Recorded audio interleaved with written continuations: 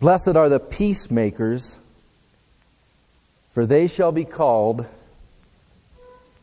sons of God. If you were going to San Francisco in the 60s, you would uh, wear flowers in your hair.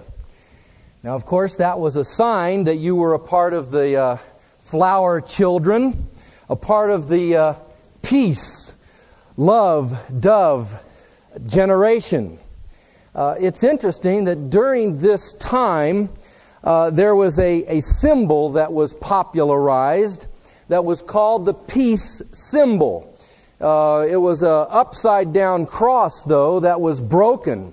And basically, what that peace sign uh, represented was the rejection of Jesus Christ, who is the Prince of Peace. It had nothing to do with really anybody that wanted peace or was seeking after peace, but it was actually a blasphemous symbol that came out of the dark ages that really represented, represented the rejection of Jesus Christ, who is indeed the Prince of Peace. But this became uh, popularized as a, uh, as a peace symbol. Um, many people were um, tricked into believing, though, that this was a symbol of peace. Satan just seems to uh, uh be so deceptive in his uh, deceiving people today, and there are even those today that we see on the back of, you know, particularly on the back of the uh, uh, the Volkswagen vans, you know, uh, the, the, the the cars that came right out of the '60s, you know, the the peace mobiles we would call them, as we'd see people, you know, traveling around in them and all. But you can see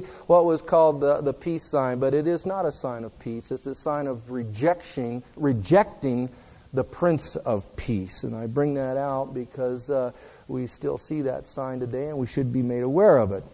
But the cry of the 60s generation was peace. Peace. We want peace. And so the protests, because of, uh, of the Vietnam War that was taking place at this time, people were crying out uh, for an end to the war. The Vietnam War was a horrible war. What war isn't a horrible war? But it was an extremely horrible war. But this war was brought right into our living rooms, and each day, uh, at the end of the day, the, um, uh, the, the, totals for that day uh, were brought before us the casualties, the number that were killed, and the number that were, uh, were wounded. And so, this was really the first television war that was brought. It was brought right uh, into our homes, and it was then that uh, the nation also desperately cried out for peace to be made and for an for an end to the war. And this continued on into the 70s as the, as the war lingered on. Uh, and the protesters for peace kept trying to make their point war isn't working. Uh, and of course, uh, if uh, they could get an end to war, well, then that must mean that there would be peace if there was uh, an end to war. Uh, logically speaking, that's what we would think. you might remember the theme song uh, of this era uh, was all we are saying is give peace a chance.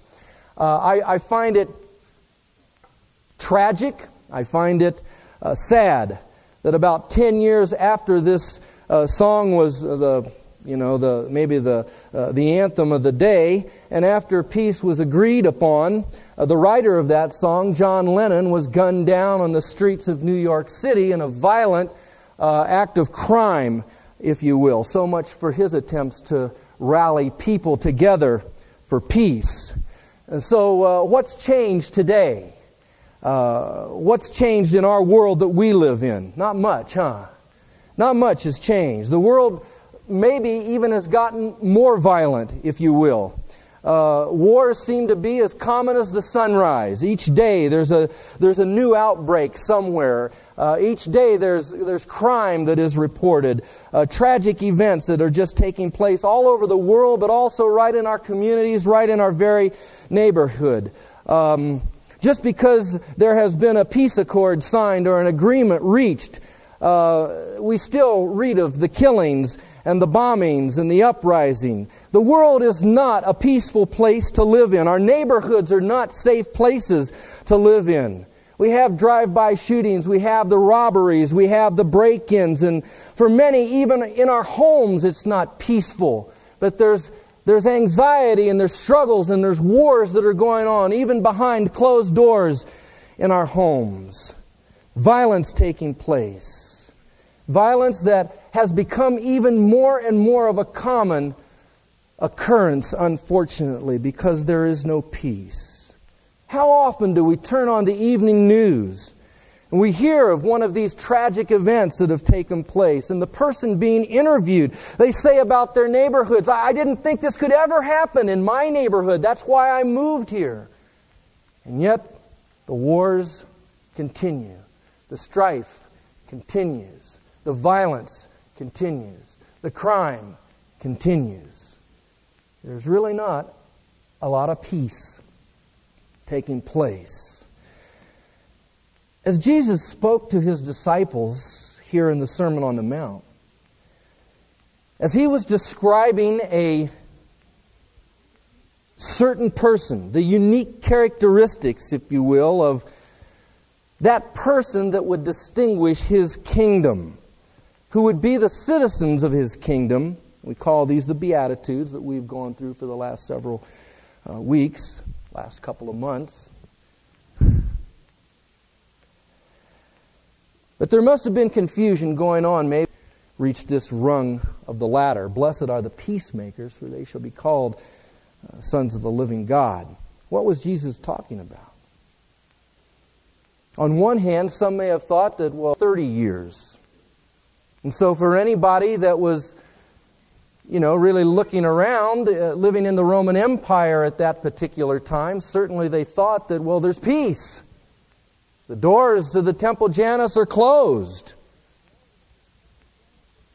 And if they're closed, well, that must mean peace. But what really appeared to be peace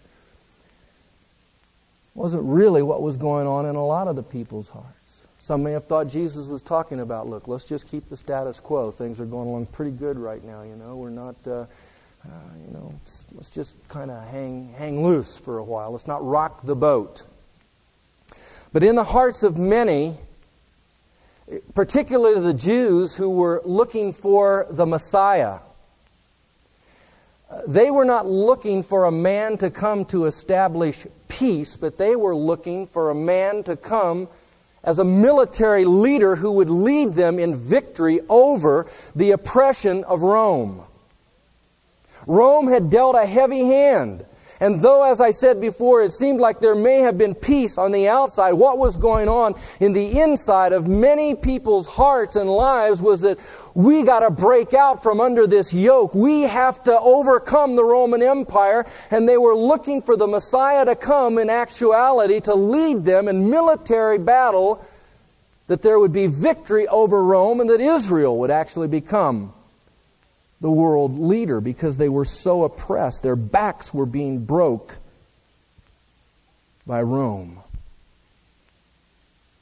So these didn't want peace, they wanted war. And now they're listening to Jesus as he says, Blessed are the peacemakers.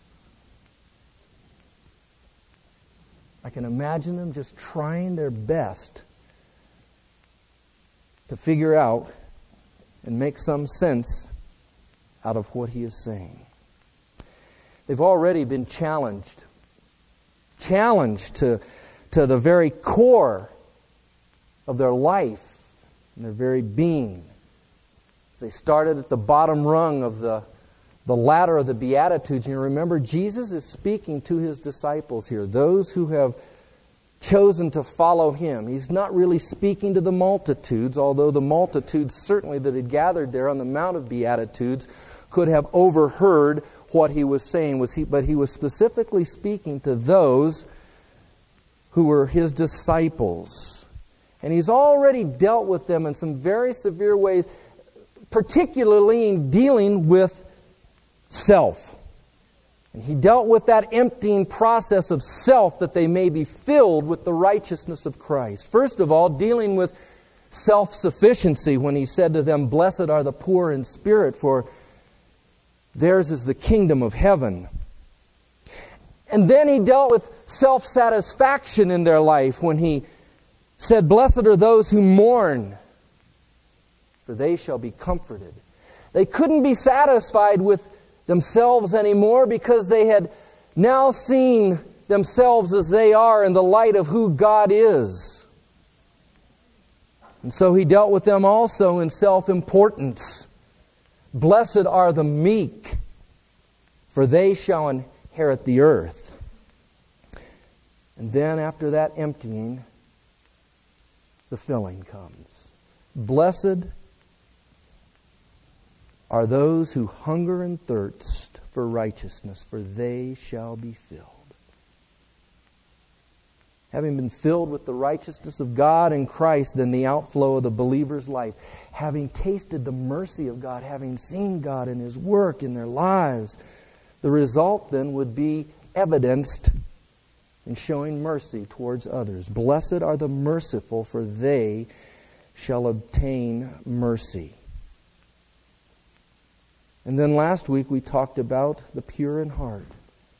They're the ones that will see God.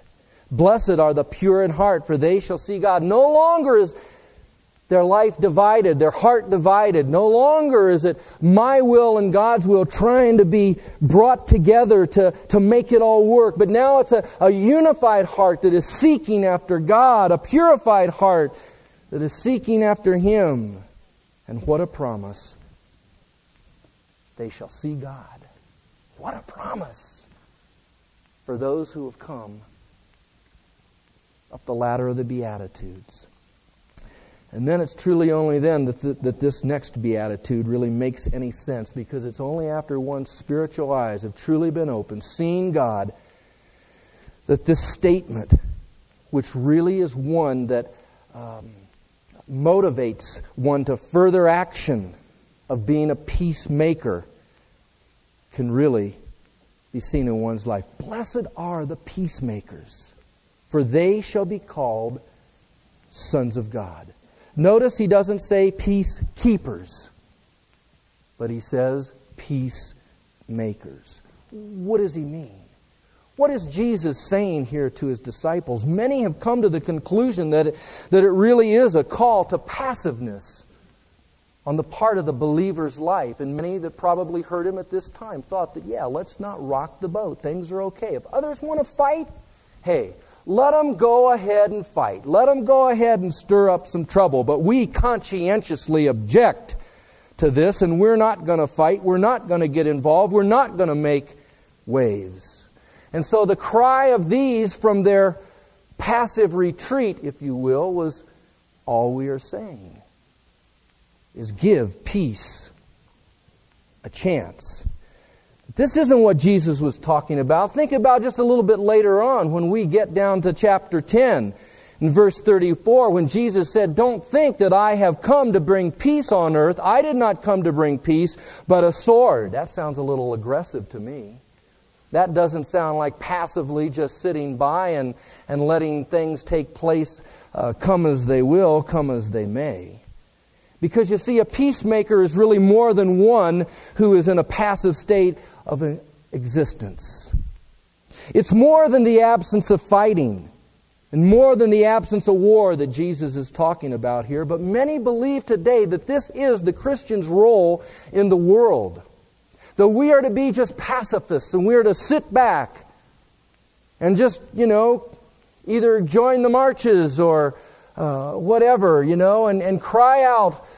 All we are saying is give peace a chance.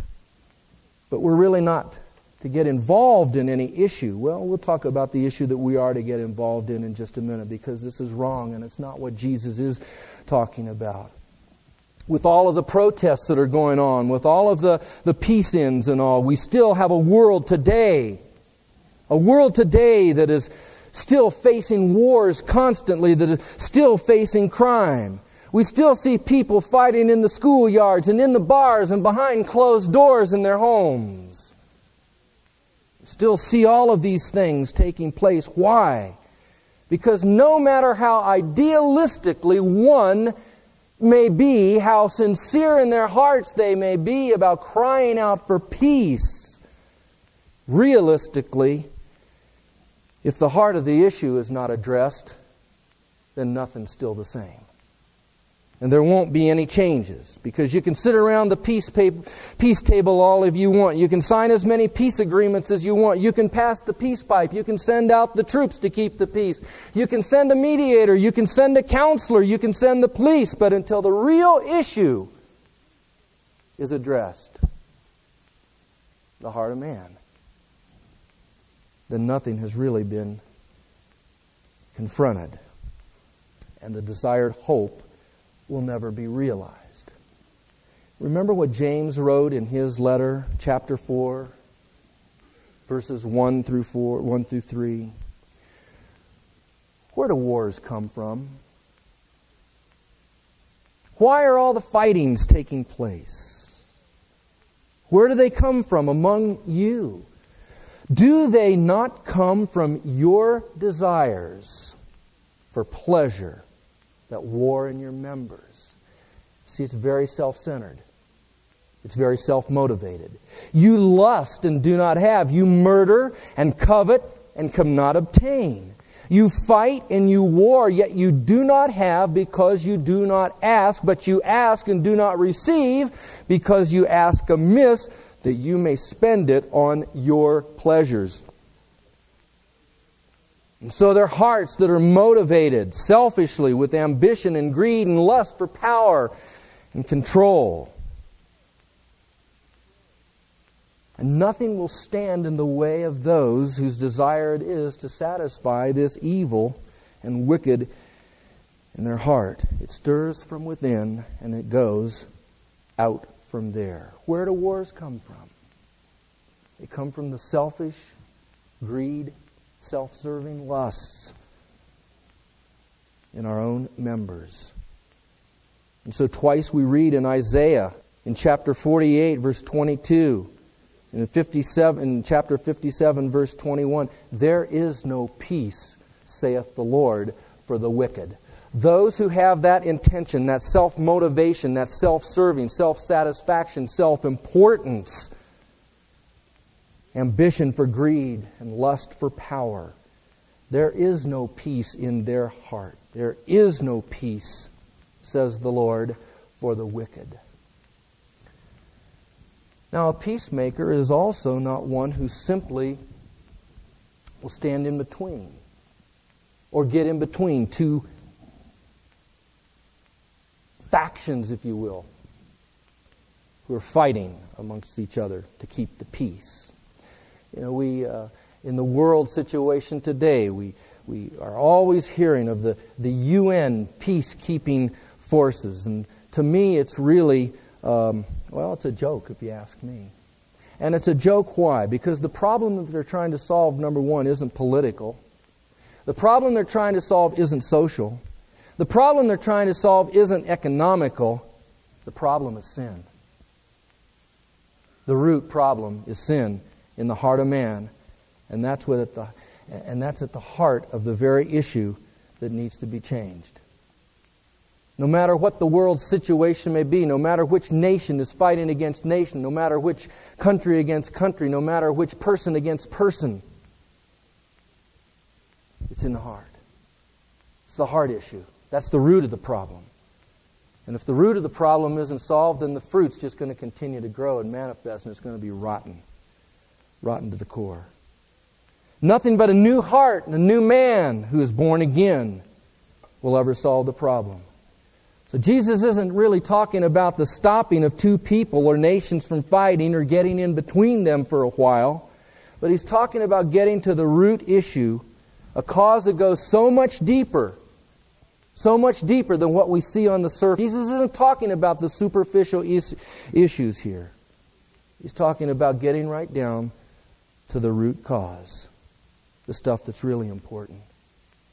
And so he says, Blessed are the peacemakers. Blessed are the peacemakers. Happy to be envied are the peacemakers. Now notice who they are. For they shall be called sons of God. Those who have come into a living relationship with Him who have been filled with His righteousness, who have embraced the truth of God's Word.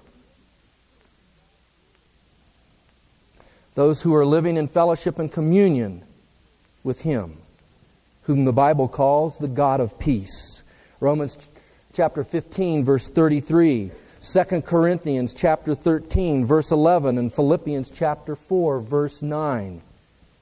The God of the Bible is called the God of peace, and we are called the sons of God. And so we are those who have been brought into his family, into fellowship with him. And so we are the ones then that have been given the privilege, the privilege to proclaim the peace that only comes from the one who is the source of peace, the God of peace, our Lord and Savior, Jesus Christ. So, as he's describing here to his disciples who they are and what really is just one of the missions of their life to be peacemakers. And if we're going to be peacemakers, then we must be willing and we must be ready to make a stand for truth and stand for righteousness. You've heard the expression peace at any price. Well, what if that price is war? Because I believe in peace at any price, even if the price is war. But most people who embrace this idea of peace at any price, they're really thinking of some kind of compromise. They're not thinking of the option that it may be indeed war. That there's going to be fightings. But I tell you what, if there's no peace within, again, no matter how many peace accords have been signed, wars and fightings will soon develop again. To be peacemakers on God's terms requires standing upon the terms of His truth. Thy word is truth. Standing upon the terms of His word, His truth. Taking a stand for righteousness. And we live today, my friends, in a world that is aggressively opposed to truth and righteousness, the truth and the righteousness of the Word of God we live next door to. We work with those who are going to resist the truth of God's Word. We live in the same houses with many who also resist God's Word.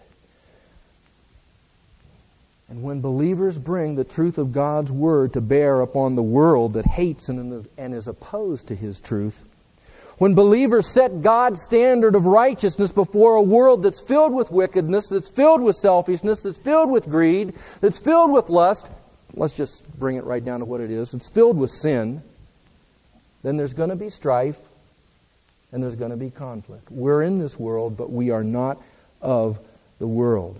And peace is not going to reign as long as there is wickedness reigning. There can be no peace where, where sin is reigning. And if we are going to be peacemakers, then we will find ourselves in conflict with the world who is aggressively opposed to and against the word of truth. And this is something that we need to prepare ourselves for. We need to prepare ourselves for this. You remember Jesus going into the temple when the money changers there were taking advantage of the people who were sincerely coming in to, to worship God. And you remember that they took advantage of the people by by them coming in innocently, those who had, had, had, had maybe worked hard all week and, and all they wanted to do was bring in their sacrifice before the Lord and to offer that before the Lord. But of course, their, their little lamb was not, was not clean, was not pure, you know, because they had the whole group of, of animals in the back that were their special temple sacrifices, you know, that could be offered. But this little lamb that they were bringing to offer that wasn't good enough right then would be put back in that flock and they may buy the same thing again. And Jesus saw the hypocrisy and the religious leaders who were taking advantage of those who were coming sincerely to worship God. And you remember he came in and he said, Oh, boys, you shouldn't be doing that. You're really taking advantage of God's people. He didn't do that, did he? He didn't stand back and cry out, give peace a chance, let these poor people in, you know. And no, he went in there with his, with his little whip He went in there and he turned over the money changers' tables and he went in and threw them out. There was conflict, there was strife, there was a war that was being waged. A war that really dealt with the issues of life and death, eternal life and death. Souls were in the balance. And we need to be willing, and I hope that you are willing. Willing to offer the peace of God to those whom you work with, to those who live next door to you, to those you live with.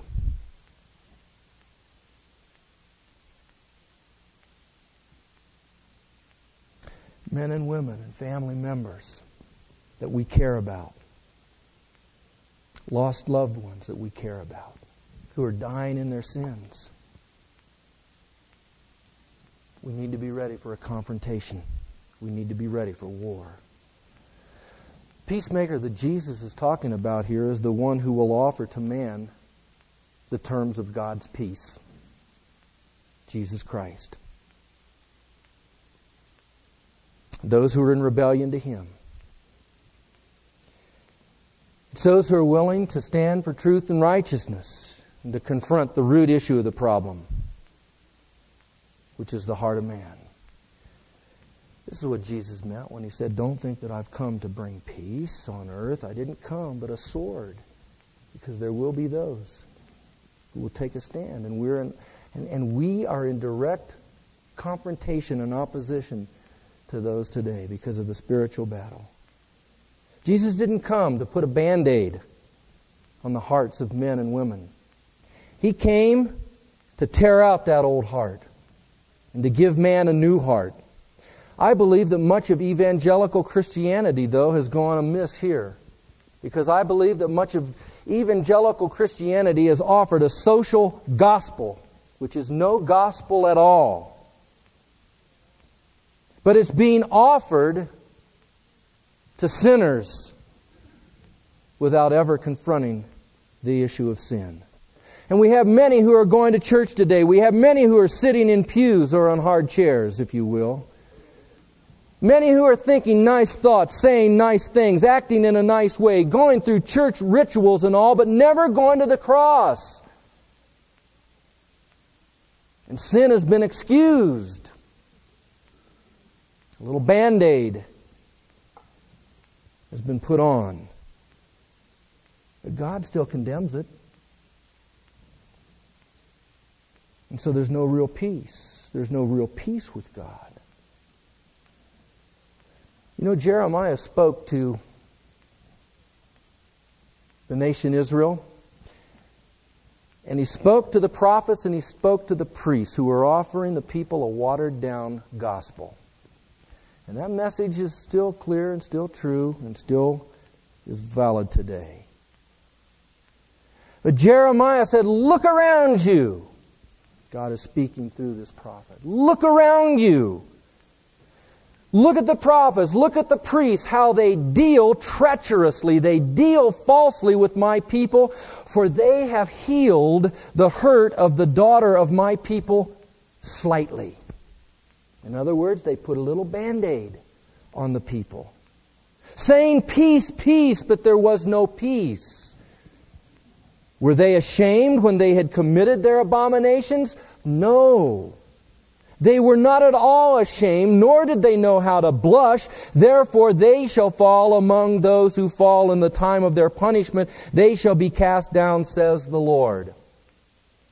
And so when we proclaim the gospel of peace, when we proclaim the message here, it may be offensive to the human heart.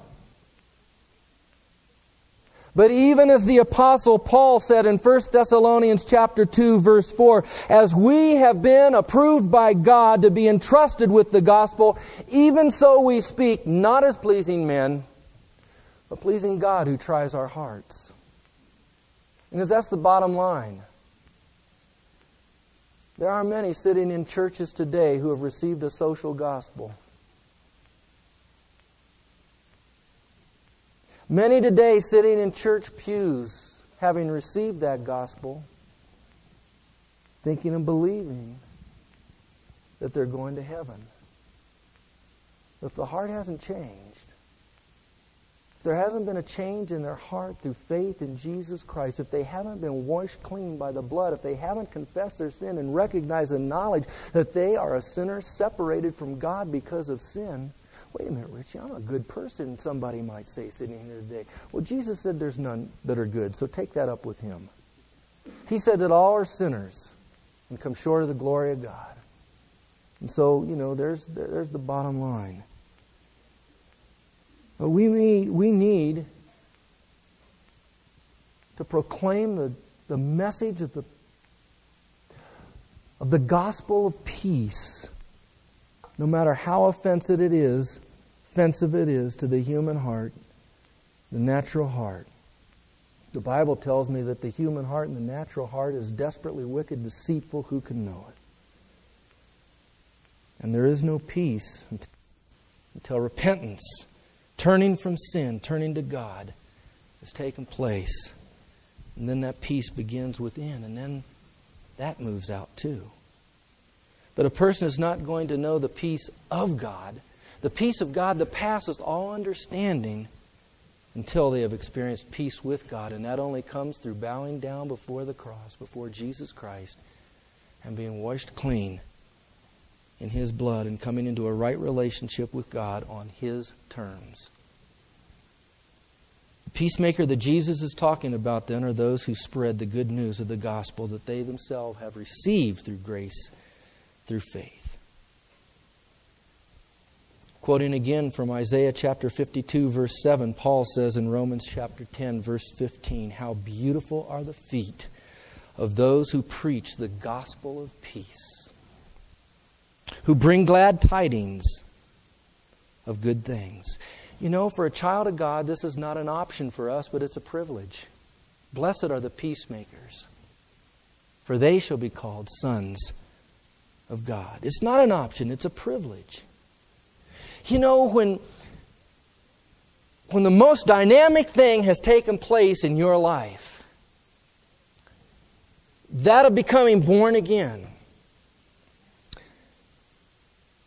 Why should it be any want to go to others when we've read a good book, seen a good movie, heard a good song, met a new friend that we just really think is the most special person in the world, and we want to introduce them to it?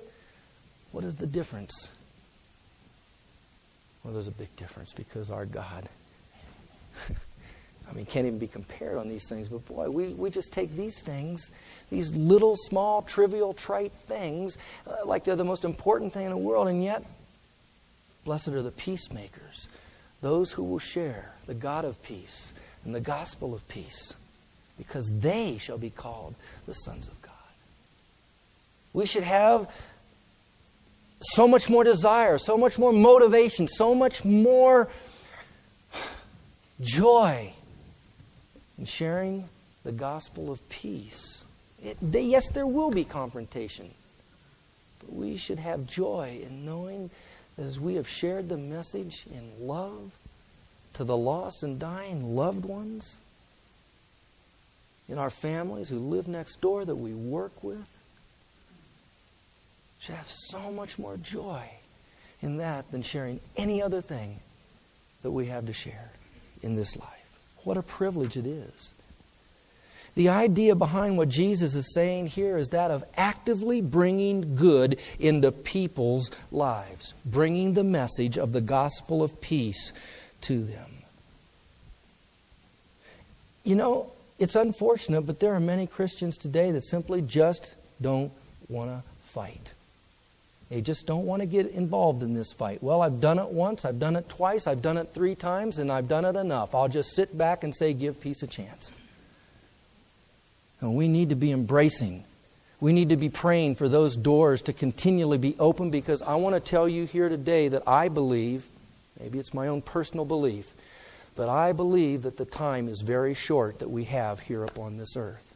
I believe that Jesus Christ is coming soon, very soon. I believe his return is imminent. It could be at any moment. It could be while we are here this morning and we wouldn't have another chance.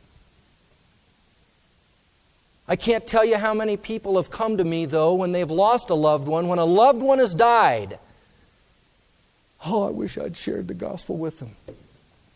Now's the time. Now's the hour. Now's the day. Don't let that moment go by that you lose a loved one, that you have not shared the gospel of peace and the God of peace with. Don't let that day go by. Well, Richie, I don't know what to say. Jesus loves them.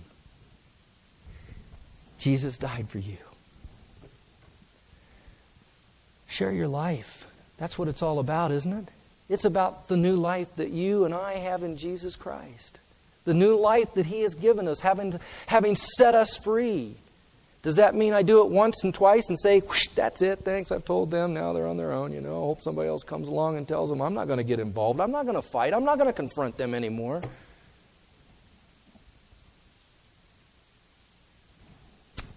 Well, it's actively bringing good into people's lives. The word shalom, which was the Hebrew greeting, is actually the word for peace, and it describes God's highest and best for you. When the Jew would say shalom, it means I desire and I want God's highest and His best for you. One commentator said that this is really the creative, aggressive force for goodness in a person's life that will result in peace, in inner peace. The world and the nations of the world today are without peace if they're without Jesus Christ. Neighborhoods that we live in, homes are without peace as long as the Prince of Peace is not reigning and the God of peace is rejected. Men, women, mediators, counselors can pursue peace all they want. But until there is a willing yieldness to the terms that God has set forth for peace, the terms that He has ordained, then there will be no peace, and it will be futile. Sinful man cannot create peace either within or among themselves apart from receiving the truth of the gospel of Jesus Christ. This rung on the ladder resulted from the last rung of a purity of heart that we spoke about last week, being cleansed from all unrighteousness through faith in Christ, who is our peace. And then, because of that, because of having received the grace of God, is the enemy of peace, the enemy of the cross. But it took that, that real peace could be established. Jesus says today, Peace I give unto you. Not the peace that the world gives, but my peace. Judges 6:24 we read that God is the source of peace. He is the Lord of peace, Jehovah Shalom.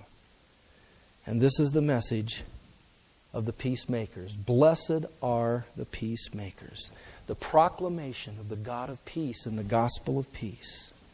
Because we have made peace with God through faith in Jesus Christ, we can know the peace of God that passeth all understanding and all the little ripples of life that come our way. And we can share it with others and we can show them that God, the peace can be made with Him also.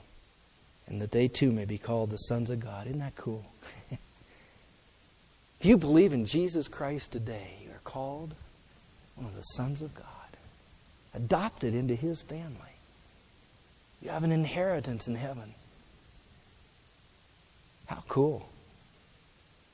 And you've been given the privilege and the opportunity now of sharing the peace of God with a lost and dying world.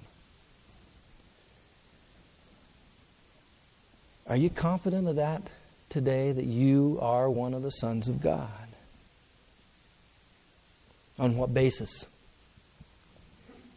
Because only the person who has made peace with God through faith in Jesus Christ can have that confidence, acknowledging that you are a sinner,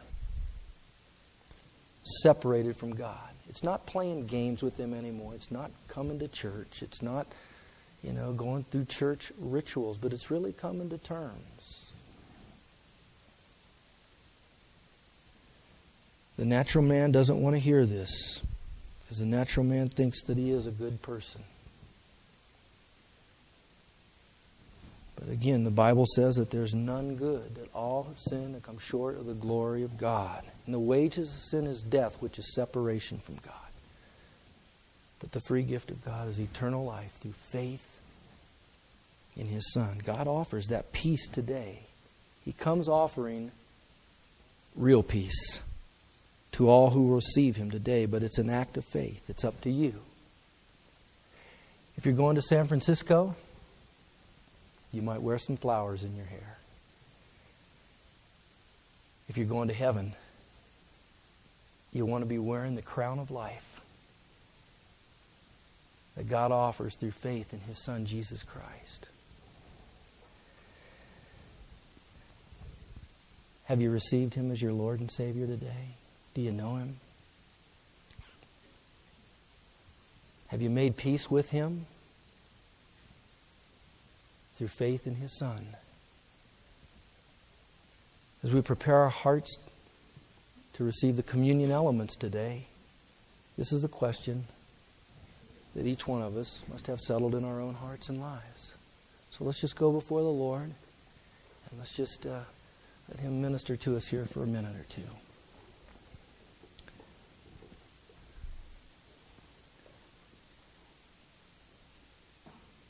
Thank you, Father, for sending your Son, Jesus Christ, to establish peace. Because you see, peace, Lord, that we're talking about here is not all of this stuff that's going on around the world, all of the wars and the fightings and, the, and all of that, Lord, but it's peace with you. It's peace with you, God. And Lord, as men, Women, apart from you, we are separated from you because of our sin. Lord God, I thank you that you, Jesus, were willing to come, the Lamb of God, to take away the sin of the world.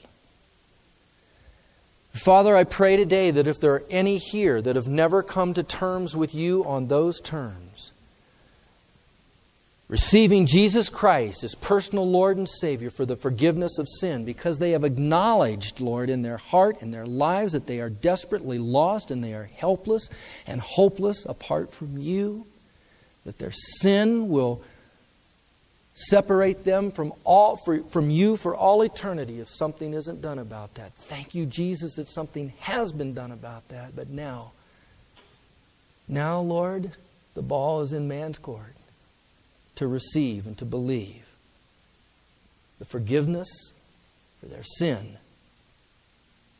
through faith in you, Jesus Christ. But Lord, there must be a confession of faith and a confession of sin.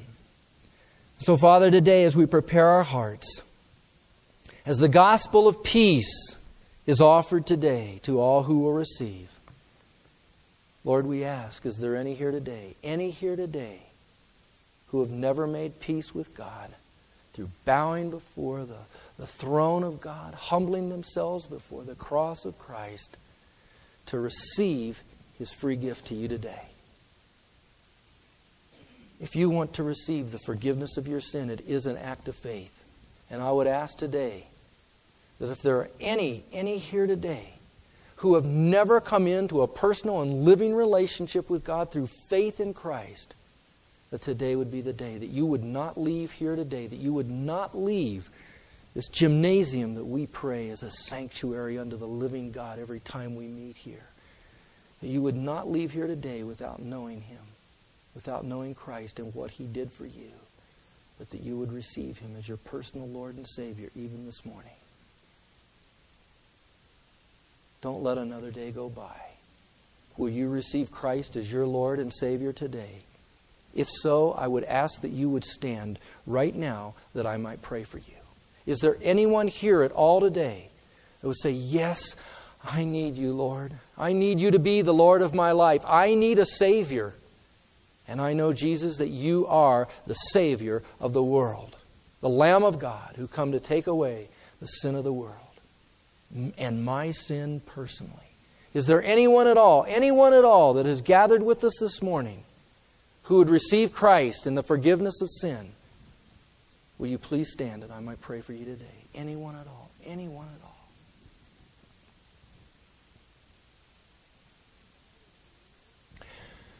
Well, Father, as believers, as we gather now, as we prepare our hearts, Lord, we know that though we have been forgiven of our sin, Lord, we still sin. We still fall short of the glory of God. Father, we know that if we say we have no sin, then we lie and we do not the truth. And so, Lord, today, I pray, Father, that we if we've been harboring anything in our own lives, in our own hearts, if we've been trying to make excuses, Lord, in our own hearts, in our own lives, that, Lord, we quit making the excuses even this morning. Because I know if we've been making excuses, the peace of God that passeth all understanding. Though peace with you has been made, Lord, there's still an unsettledness in our hearts. And so, Lord, if there's that unsettledness in our hearts, if there are things, Lord, that we need to confess and to bring before you even today, before we partake of the communion elements today, Lord, I pray that we would just get with you. Get with you and take care of any unfinished business or anything, Lord, that's come up. Maybe something, Lord, that, that, that we thought was, was done and taken care of, but yet, Lord, it's still something that's just, it just keeps coming up, a habit that just seems to be uh, still, um, st- still still there. Lord, we want you to take it away. We want the victory, Lord. Maybe it's our thought life, Lord. Father, whatever, I just pray that you meet us here right now as we prepare our hearts to partake of the memorial, God, that you have left for us to remember your death until you come. Thank you, Jesus. Blessed are the peacemakers, for they shall be called sons of God. Oh, Lord, may this be the proclamation of our life and the message of our heart. Father, may there be restoration in our homes and in our lives. May there be healing, God, as we just come before you even right now to receive from you the grace of your touch and your hand. Meet us here, Lord, even now. Meet us here, Lord, right now, ministering to our very need as we come to you, Jesus, the author and the finisher of our faith. Encourage us, build us up, strengthen us, Lord. If we've been defeated, been discouraged, been overwhelmed, been over, just overwhelmed, Lord, just set us free even today, Lord. work, God, as we draw near to you now, preparing our hearts. For it's in your name we pray. Amen.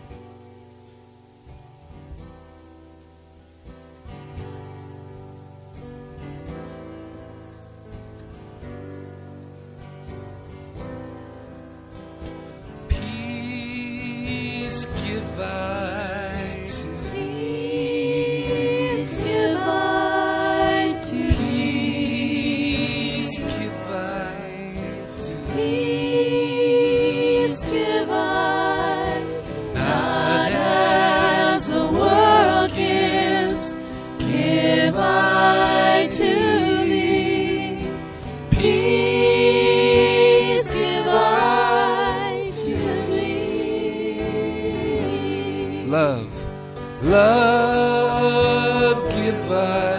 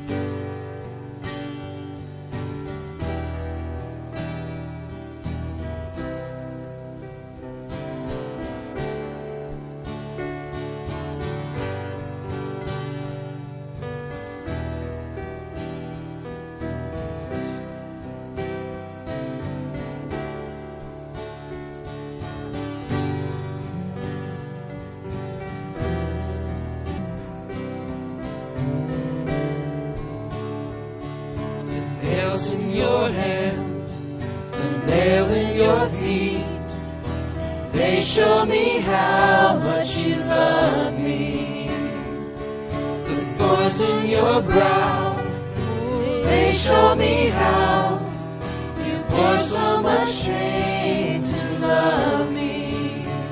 And when the heavens pass away, all your scars will still remain. That forever they will say just how much you love I want to say forever my love, forever my heart, forever my life is yours. Forever my love, forever my heart, forever my life is yours. The nails in your hand, the nails in your hands, the nail in your feet, they show me how much you love me. The thorns in your brow, they show me how you bore so much shame to love me. And when the heavens pass away, all your scars will still remain.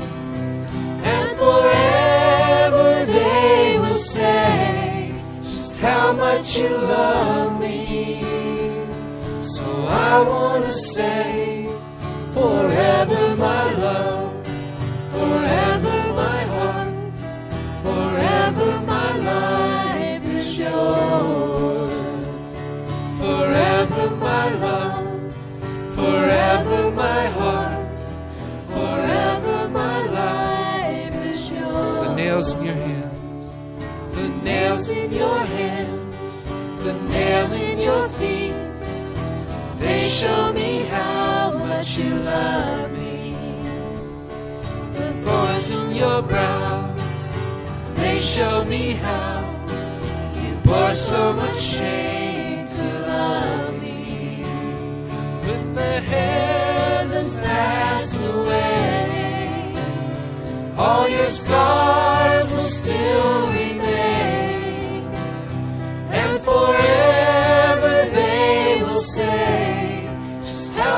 you love me.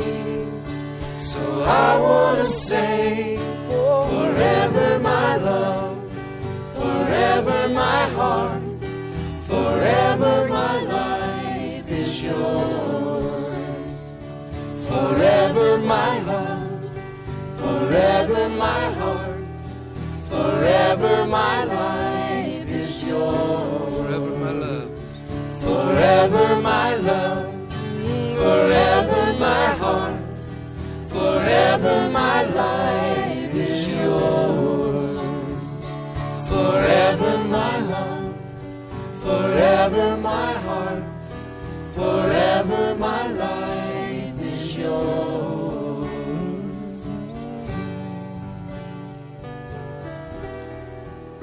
God, who is rich in mercy because of his great love with which he loved us, even when we were dead in trespasses, made us alive together with Christ. By grace you have been saved, and raised up together and made us to sit together in the heavenly places in Christ Jesus, that in the ages to come he might show the exceeding riches of his grace and his kindness towards us in Christ Jesus. For by grace you have been saved through faith, and that not of yourselves. It is the gift of God, not of works, lest anyone should boast. For we are his workmanship, created in Christ Jesus for good works, which God prepared beforehand that we should walk in them. Therefore, remember that you, once Gentiles in the flesh, who were called uncircumcision by what is called the circumcision made in the flesh by hands, that at that time you were without Christ, being aliens from the commonwealth of Israel and strangers from covenants of promise, having no hope and without God in the world. But now in Christ Jesus, you who once were afar off have been made near by the blood of Christ.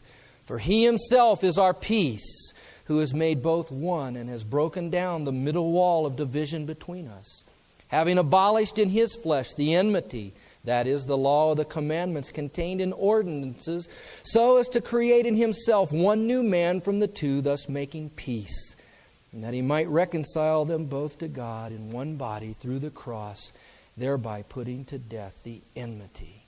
And he came and preached peace to you who were afar off, and to those who were near. For through him we both have access by one Spirit to the Father.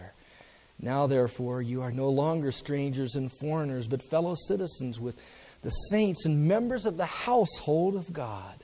Having been built on the foundation of the apostles and prophets, Jesus Christ Himself being the chief cornerstone, in whom the whole building, being joined together, grows into a holy temple in the Lord, in whom you are also being built together for a habitation of God in the Spirit.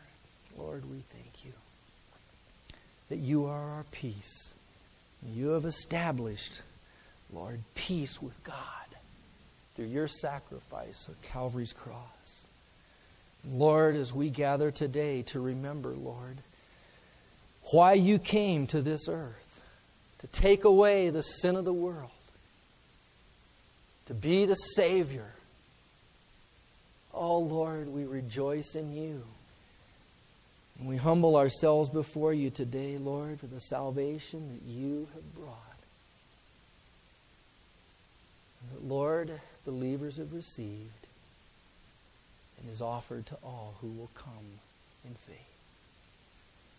And so, once again, before we partake, if there's any here today who have never received Jesus Christ as their personal Lord and Savior, what we're about to do is the highest act and highest expression of worship that we can offer unto our God, the God of our salvation, who went to Calvary's cross, who laid his life down and shed his blood for the forgiveness of our sin, for in it is the new covenant and new life. If you have never received and opened your heart to receive the forgiveness of sin, if you've never confessed your sin, now is the time. Because this is for believers what we are about to do. It is for those who believe and who trust and who have received Christ as their Lord and Savior. Otherwise, as the Bible says, you, you drink and eat condemnation to yourself because